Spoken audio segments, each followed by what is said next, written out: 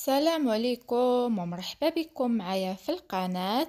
اليوم بإذن الله فيديو جديد. كنتمنى يا ربي يلقاكم في تمام الصحة والعافية وبأحسن الأحوال على ما يرام. كيف العادة؟ واحد الفيديو اللي هو سهل وبسيط وفي المتناول.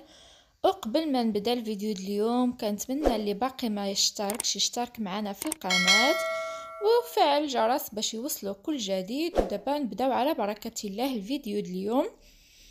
أول حاجة غادي نحتاجو بالنسبة للفيديو كي كتشوفوا غادي نحتاجو هاد القريعات هادو ديال البلاستيك غادي ناخذ واحد السكين وغادي نحاول أنني يعني نقطع هذيك القطعة اللي كاينة الفوق.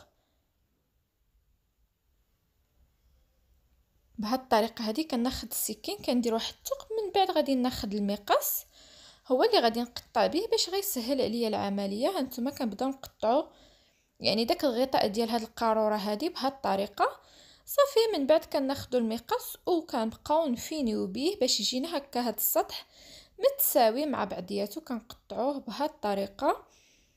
يعني الطريقة راها سهله بالنسبة لي أنا استعملت هاد العبار هذا نتوما بغيتو تستعملوا واحد يعني بغيتو تشكلوا ثلاثة الأشكال ممكن ديروا هاد العبار أولا هاد القياس هو الكبير ومن بعد تقطعوا واحد العبار شوية صغير عليه وتقطعوا يعني كيبقى غير القارورة كنبقاو نقصوا منها وصافي.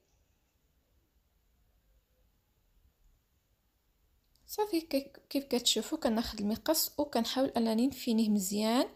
هكا باش يجيني هاد السطح هذا مستوي.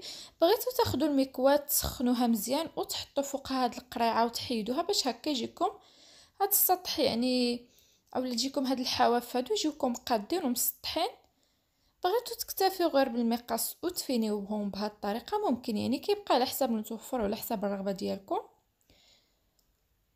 صافي مهم أنا غادي نكمل بنفس الطريقة غادي نحاول أنني نقاد هاد هاد القرعه باش تجيني من الفوق متساوية مزيان كي كتشوفوا في الصورة ومن بعد نتلاقاو باش نكملو. بالنسبة لي أنايا درت جوج ديال القارورات نتوما ديروا يعني الكمية اللي بغيتو الأحجام اللي بغيتو. مهم أنا كنشارك معكم غير الفكرة وهذا مكان دابا غادي ناخذ هاد القريعة هذه غادي ناخذ الصباغة ديال البخاخ في اللون الأسود وغادي نصبغها. بعد ما صبغتها هنا كي كتشوفوا وخليتها تنشف.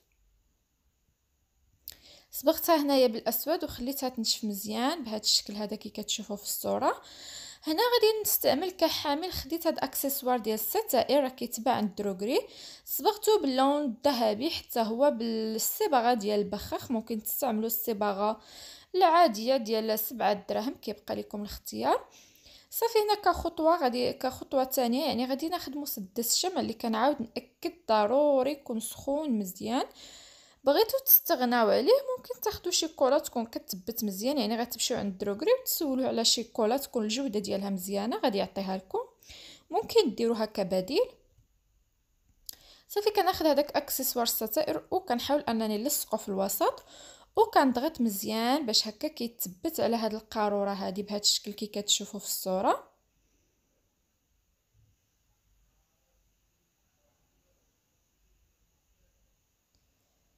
صافي من بعد دابا غادي ندوز للمرحلة ديال التزيين. غادي ناخذ هذا الشريط هذا ديال الدونتيل. غادي ندير له الكولا ديال الخشب اولا الغراء ديال الخشب يعني باش يولي قاصح. نخليه حتى ينشف مزيان. ومن بعد كناخذ الصباغة باللون الذهبي وكنصبغو نتوما كنتو غديروا هذا العمل هذا باللون الفضي يعني كيبقى لكم الاختيار بالنسبة للألوان. كتبقى على حساب الرغبة ديال كل واحد وعلى حساب الذوق يعني الأذواق راها كتختلف. صافي غادي ناخذ هاد الشارط ديال الدونتيل. كنعاود نأكد اللي خديت الكولا البيضاء اولا الكولا ديال الخشب اولا الغراء الأبيض. كندوز عليها مزيان وكنخليها حتى كتنشف باش كتقصح هكا هاد باش كيقصح معنا هاد الدونتيل. وكيولي الشكل ديالو زوين. من بعد فاش كينشف كنصبغوه باللون الفضي اولا باللون الذهبي على حسب الديكور اللي غادي تستعملو نتوما. كيبقى لكم الاختيار. وصافي كنبقى نلفو هنايا من الأسفل بهاد الطريقة.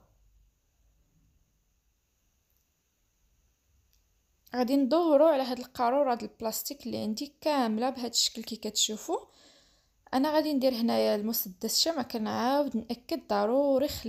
يعني تخليوه أنه يسخن مزيان باش هكا تضمنوا أنه من بعد ما يزولش نهائيا. وردوا البال مع مسدس الشمع لأنه كيكون سخون.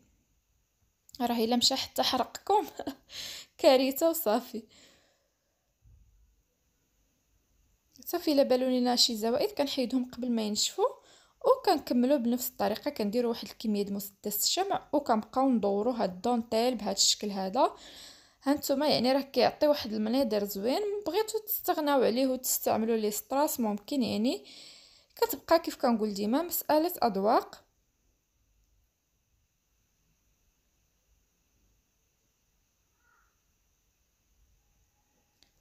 صافي كنكملو بنفس الطريقة كنديرو مسدس الشمع وكنلفو هاد الدونتيل.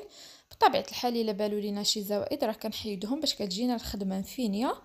غادي نقطع هاد الفائض هذا اللي بقى ونثبت الحاشية ديالو بمسدس الشمع. دابا من بعد غادي ندوز للاعلى حتى هو بنفس الطريقة غادي ناخذ الدونتيل. وهنا غندير مسدس الشمع هنايا غير تحسوا مسدس الشمع أنه سخون طفيوه باش هكا ما تذوب لكمش هاد القريعة أولا القارورة. لأنها غير بلاستيك. بغيتو تطبقوا هاد الفكرة إلا كان عندكم شي فاز ديال الزجاج بهذا الشكل هذا بغيتو تطبقوا عليه نفس الفكرة. غادي يكون أحسن وأجمل لأن الزجاج كيكون ثقيل يعني غادي يجي حسن. بالنسبة ليا ما كنتوفرش على شي فاز اولا شي كاس بهذا الشكل هذا. فاختاريت الأسهل باش هكا كلشي قد يطبق الفكرة. كيف قلت لكم نتوما إلا كان عندكم الزجاج غادي يكون أحسن وأفضل بطبيعة الحال. صافي هنا بنفس الطريقة كندوزو كنثبتو هاد الدونتيل هذا من الاعلى أنا هنا بما أن مسدس الشمع جاني سخون بزاف وخفت القريعة تذوب غادي نديرو مباشرة فوق الدونتيل يعني ما غاديش نديرو فوق ديك القريعة باش ما تذوبش وغادي نلفو بهاد الطريقة. هانتوما راه كيعطي واحد المناظر أكثر من رائع. يعني أشياء بسيطة واحد العمل اللي ما غاديش يتقام عليكم غالي نهائيا. القريعات راهم ديال بلاستيك موجودين غير هما. هاد الدونتيل هذا كيدير ثلاثة دراهم المتر يعني غير متر راه يخدم لكم ويشيط وهاد accessoire الستائر كاين على حساب المتوفر عندكم كاين خمسة دراهم كاين عشرة دراهم يعني على حساب الرغبة ديال كل واحد وعلى حساب الإمكانيات ديالكم. صافي هنا فاش كنوصلوا لهاد الحاشية هذه كنقطعوها وكنثبتوها حتى هي بمسدس الشمع. وراه الخدمة ديالها كتجي مفينية يعني ما كيبانش الفرق نهائيا. بهذا الشكل هذا. صافي دابا بالنسبة للغطاء كفكرة غادي نشاركها معكم أنا كان عندي هذا الغطاء هذه اولا هذا هذا الغطاء هذا يعني ديال بلاستيك. كنت خديت واحد الطويصة صغيرة بثلاثة دراهم ودرت لها هكا إعادة تدوير. يعني غتشوفوا غير الأشياء اللي عندكم في المنزل. وهذا حتى هو أكسسوار الستائر في الأول هو اللي كنت غادي ندير. مهم شاركته معكم بغيتو تستعملوه بهذه الطريقة هذا كغطاء ممكن. بالنسبة ليا حتى لآخر لحظة ورجعت تراجعت خديت غير الغطاء ديال هذا القطعة بلاستيك ولصقت فيه القابض ديال البلاكارات هي اللي استعملت كغطاء من الآلة.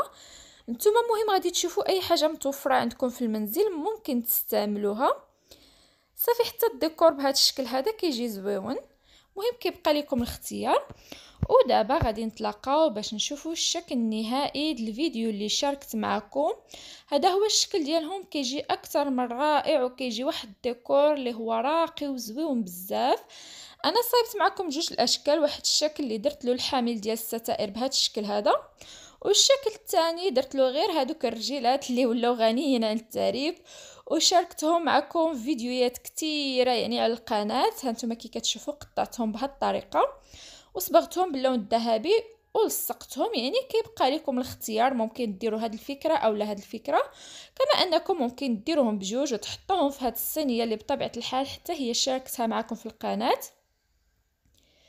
كيجي المنظر ديالهم أكثر من رائع ممكن تزينوا بهم الصالونات كيجيو راقيين وحتى هما بطبيعة الحال من بين الديكورات اللي دارجة دابا على الموضة. وحنا هكا نصايبوهم في المنزل بأشياء بسيطة. كيف قلت لكم راه ما هذا العمل هذا ما غاديش يتعدى لكم واحد عشرة دراهم. وهذا هو الفيديو اليوم. بلا ما نزيد نطول عليكم أكثر وكيف كنقول ديما كنتمنى يا ربي نكون خفيفة ظريفة على قلوبكم ونكون فتكم ولو بالقليل. ولأول مرة كيشوف القناة مرحبا به معنا في القناة والشرف لينا أنه انضم لينا. وهكا العائلة ديالنا كتزيد تكبر كيف كنقول ديما بالمحبة ديالكم وبالتفاعل ديالكم. واللي عنده شي سؤال أو لا شي استفسار واللي بغى يتواصل معايا في الخاص غادي نخلي لكم الإنستغرام ديالي مكتوب هنايا الفوق. وشكرا إلى فيديو مقبل إن شاء الله.